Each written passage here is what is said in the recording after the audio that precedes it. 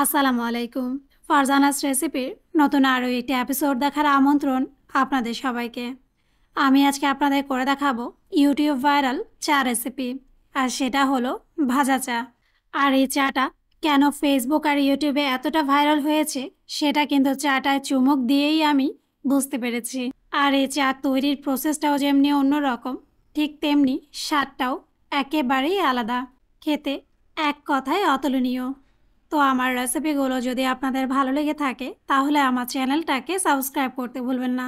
আর আমার প্রতিটা ভিডিওর নোটিফিকেশন সবার আগে পেতে বেল বাটনে একটা ক্লিক করে দেবেন। তো চলুন গিয়ে দেখে নিই ভাজা চা তৈরি করার সম্পূর্ণ প্রস্তুত প্রণালী। এখন প্রথমেই আমরা চুলার মিডিয়াম হিটে একটা প্যানের মধ্যে দিয়ে দেব তিন টেবিল চামচ চিনি। এরপর কয়েক সেকেন্ড অপেক্ষা করব যেন চিনিটা গলে গিয়ে চিনির মধ্যে খুব সুন্দর একটা ক্যারামেলের কালার চলে আসে। দেখুন, কিছুটা সময় অপেক্ষা করার পর চিনিটা কিন্তু গলতে শুরু করেছে এবং এর কালারটাও পরিবর্তন হতে শুরু করেছে। এ পর্যায়ে তিন চা চামচ চা পাতা, এক টেবিল চামচ থেতলে নেওয়া কুচি করা আদা, দুইটা এলাচ এবং হাফ ইঞ্চের এক টুকরো দারচিনি একটু থেতলে আমরা এর মধ্যে অ্যাড করে দেব। এরপর এই সবগুলো উপকরণ খুব ভালোভাবে একসাথে মিশিয়ে নিয়ে কয়েক সেকেন্ড ভেজে নেব। আর কিছুটা সময় ভেজে নেওয়ার পর যখন দেখবেন সম্পূর্ণ ক্যারামেলটাই চাপাতির গায়ে কোট হয়ে গেছে, এ পর্যায়ের মধ্যে আমি অ্যাড করে দেব মেজারমেন্ট কাপের হাফ কাপ পরিমাণ কুসুম গরম পানি। আর এক্ষেত্রে অবশ্যই চেষ্টা করবেন ঠান্ডা পানি ব্যবহার না করে কুসুম গরম পানিটাই ব্যবহার করতে। এখন চাপাতি, ক্যারামেল আর মশলার মিশ্রণের সাথে পানিটাও খুব ভালোভাবে মিশিয়ে নিয়ে এ পর্যায়ে প্যানে ঢাকনা দিয়ে দেব আবারও এক থেকে দু মিনিটের জন্য, যেন চায়ের লিকারটা খুব ভালোভাবেই বেরিয়ে আসতে পারে। দেখুন, দুই মিনিট পর চায়ের লিকারটা কিন্তু খুব ভালোভাবেই বেরিয়ে এসেছে। আর এই পর্যায়ে ঢাকনা খোলার সাথে সাথেই কিন্তু আপনার কিচেনে খুব সুন্দর একটা মশলা আর চায়ের স্মেল ছড়িয়ে পড়বে।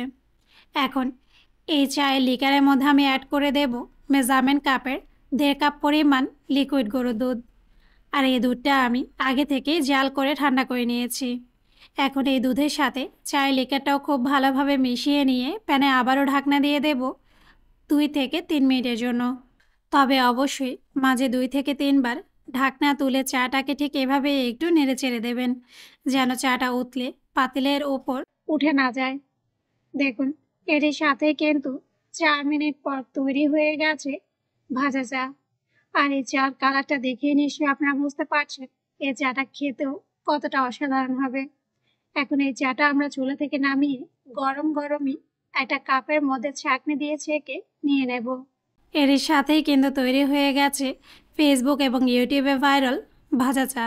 আর আমি অনুরোধ করব, একবারের জন্য হলেও এই ভাজা চাটা অবশ্যই বাসায় ট্রাই করে দেখবেন। আর এই চায়ের কালারটা যেমনি সুন্দর, ঠিক তেমনি চায়ের চুমুক দিলেই কিন্তু আপনারা বুঝতে পারবেন কেন এই ভাজা চাটা, কেন এই ভাজা চাটা ফেসবুক এবং ইউটিউবে এতটা ভাইরাল হয়েছে। তো আমার রেসিপিগুলো যদি আপনাদের ভালো লেগে থাকে, তাহলে আমার চ্যানেলটাকে সাবস্ক্রাইব করতে ভুলবেন না। আর আমার প্রতিটা ভিডিও ফ্রেন্ডস এবং ফ্যামিলির সাথে শেয়ার করবেন। আজ এ পর্যন্তই। আগামীকাল আবার দেখা হবে আরও একটি নতুন ভিডিওর সাথে। সেই পর্যন্ত সবাই ভালো থাকবেন আর আমার জন্য বেশি বেশি দোয়া করবেন। আল্লাহ হাফেজ।